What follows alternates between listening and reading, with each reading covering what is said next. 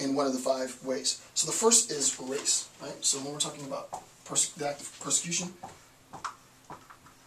race, and uh, I'll read exactly what's here. It's very short.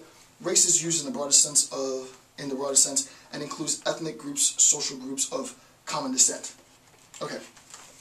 Number two is religion.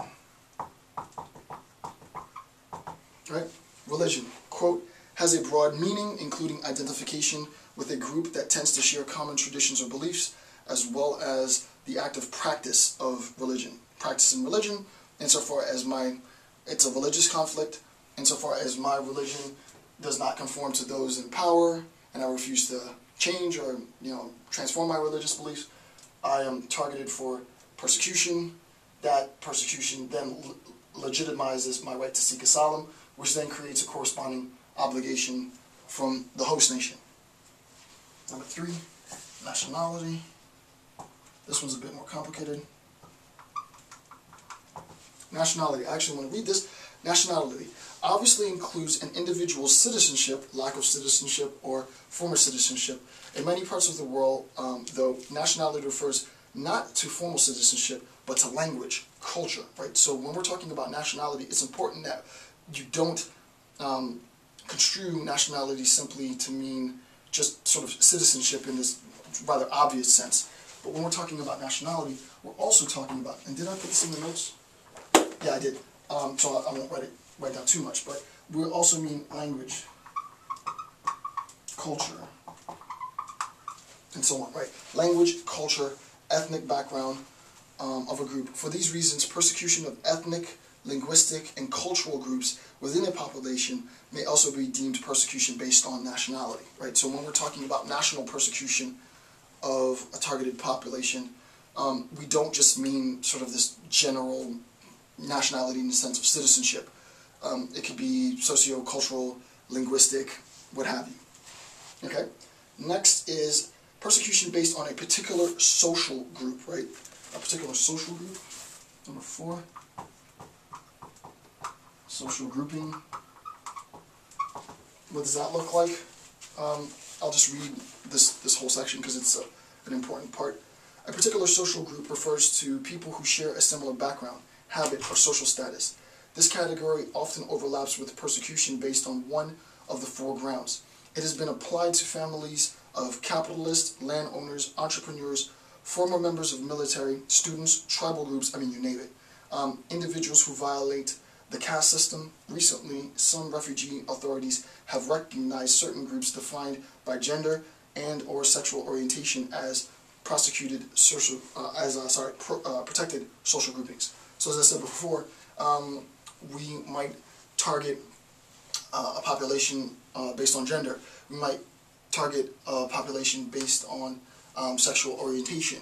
All of these groups are military um, student populations. obviously, in in um, the, the, Khmer Rouge genocide, uh, it was specifically sort of, and also you know the the uh, the the slaughter that happened in Rwanda as well. A lot of it uh, initially began with um, the targeted and strategic extermination of uh, people from the intelligentsia, educators, teachers, professors, strategically. I mean, in, in Khmer Rouge, it got so ridiculous that you were you you could be targeted for extermination for just wearing a pair of glasses, right? Because you know eyeglasses were considered to be, you know, in some bizarre sense, uh, part of sort of bourgeois capitalist indoctrination, what have you, blah blah blah, right? So this this social grouping is obviously a very sort of gray area.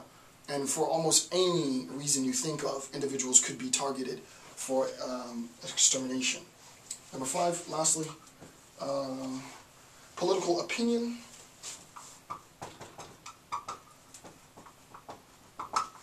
Political opinion, I'll read this last bit, um, refers to ideas not tolerated by the authorities, including opinions critical to government policies and methods primarily an authoritarian, totalitarian, fascist sort of state. Fascist state is not going to allow or entertain challenges to the state, the power. Power has been hegemonized, right? And insofar as power is hegemonized, any sort of rhetoric that critiques the hegemony then becomes sort of rhetoric from enemy of the state mentality, right? So that if you challenge the state in any accord, then you are immediately an enemy of the state. And insofar as you're an enemy of the state, right, you are then um, persecuted. Uh, and usually that persecution immediately goes to extermination, right? Persecution is sort of, persecution almost immediately, historically, evolves overnight into targeted and strategic extermination, typically of uh, members of uh, elite social class, landowners and property owners and stuff, and then uh, intelligentsia, right? Um, so that that condition allows, and what I what I wrote here specifically was refers to the ideas not tolerated, right, by authorities, including critical um, opinions of government policies and methods. I forgot to read the last bit. Um, it includes opinions attributed to an individual by the authority, even if the individual does not, in fact, hold that opinion. There, I, I you know, if I would have had it, I would have put it in. Um, I would have put it in my notes. My one of my favorite, one of my favorite sort of block quotes of all time comes from Hannah Arendt's Totalitarianism, where she talks about sort of um, the role of the Bolsheviks, and there's there's something along the lines of I, forget. I, I need to really memorize it. It was like if you are not an enemy of the state, you have to recognize that the state needs you to be an enemy right now because the state, as a totalitarian state, is defined by an enemy. So we need somebody to kill. And unfortunately, if you are the bad guy or not, we want you to play the role of the bad guy so we can legitimize your extermination, right? Uh, I have the quote in another one of my lecture series. I'll, if I can remember, I'll see if I can find. Well, no, it'll throw off my page. My page sort of. I may put a link to it. Um, but yeah, it's a genius quote from Arendt's uh, totalitarianism. It's just it's it's amazing, right? So even if the individual doesn't support or ascribe the particular belief that the political regime is saying that you support, insofar as the political regime has the power, it's going to need, in order to sort of legitimize the the um, the uh, the war state, it's going to need somebody to be the bad guy. So you're unfortunately your population has been um, selected to, to be the bad guy, and now we're going to have to uh, you know lock you up and kill you. So that becomes problematic. Okay, so what we've seen, uh, there's just one last point and then I'll wrap this up, but what we've seen is that insofar as we're attempting to recognize um, sort of the role and the complications in actually being a refugee, right, and being forced to, one, um, endure persecution, in having to then to flee from that persecution, and you, as I told you in, it wasn't in this section, in the last section, maybe an hour ago in the discussion, about an example I heard on NPR. I forget where the conflict was, but the mother had uh, her husband was massacred in a battle. It was her and her three kids. She had to walk some hundred miles to go to a host nation. Um, two of her children were sick. The weaker of the two child she selected to leave on the road, and she left the child on the road and you know and, and took the other two uh, who were stronger and healthier to survive. Brutal. So just think about that, right? Just think about just the trek in itself, the act, the process of seeking asylum. It's not just this conceptual word, word or phrase where the, uh, the refugee, the internally displaced person has the right to seek asylum. That act of seeking asylum is a physical trek. You know, it's, a, it's an arduous journey to get from point A to point B. Only then to arrive in point B to recognize that you might be in a host nation that doesn't really want to accommodate our refugee population in worst case scenario. And you immediately have to understand the layout of the land and who's friend and foe and, and, and, and then just being displaced, right, amongst your people. And you might be in a population of people who are ethnically different from you. The language might be displaced. You all might be um, homogeneously uh, members of an internally displaced group of people, but you might not ethnically be the same, so that you might not be able to talk to people.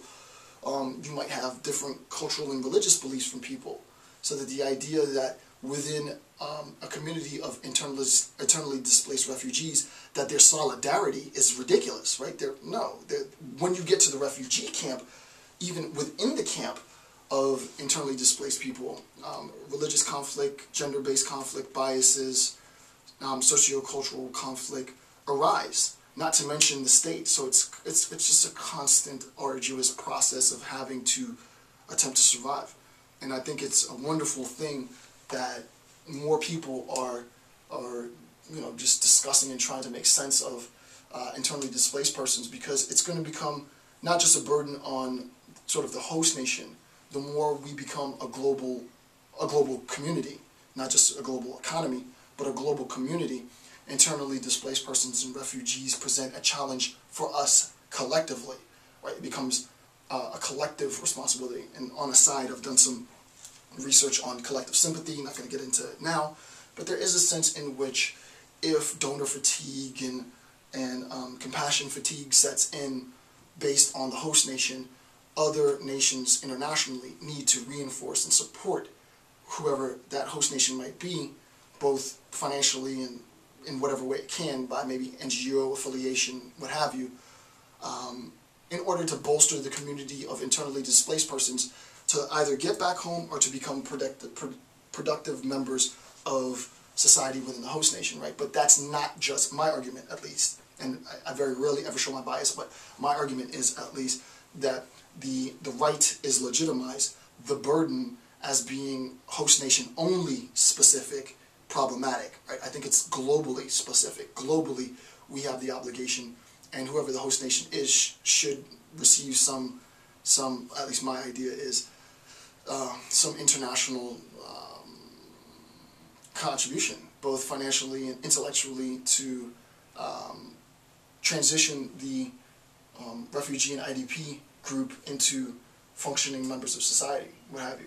Um, you know, I'm just throwing out there. Difficult thing to actually bring into existence, but hopefully, you know, the discussion starts and this is where ideas get generated, so I'm sort of a source of generating ideas. That's what I do for a living.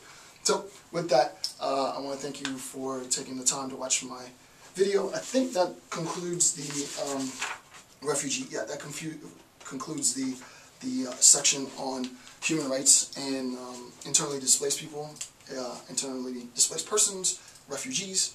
Hopefully you have a better understanding of sort of strategically, conceptually the process of becoming a refugee and the rights and obligations that correspond to uh, refugee status, both internally, internationally, uh, and the means of defending those rights. So with that, I want to thank you for watching the videos. I'm Dr. Jason J. Campbell.